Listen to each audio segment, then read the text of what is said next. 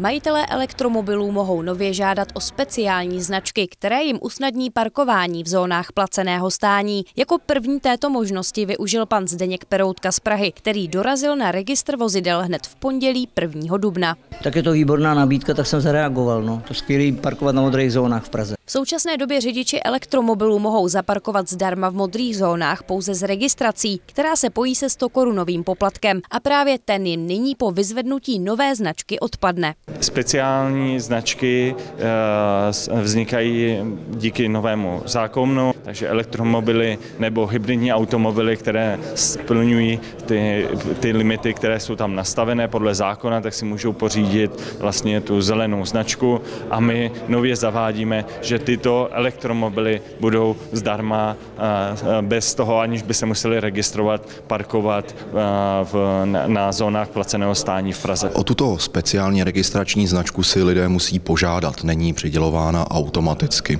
Učinit tak mohou na pracovišti dopravně správních činností v Praze 4 v ulici na Pankráci. My chceme jít eh, tou cestou podpory čisté mobility. 80% znečištění v Praze pochází z automobilu, takže tohle je, je jeden krok, kterým chceme eh, alespoň, alespoň malinko přispět k tomu, že a motivovat eh, občany, aby si kupovali elektromobily. V metropoli převážně jezdí auta na benzín či naftu. Podle Zdeňka Peroutky z Prahy se ale elektromobil vyplatí více. Já to vozidlo vlastně 4,5 roku. Je to účelový vozidlo, je to fantastický, slouží to výborně, mám na je to 130 tisíc, takže jako velká úspora v pohonných hmotách.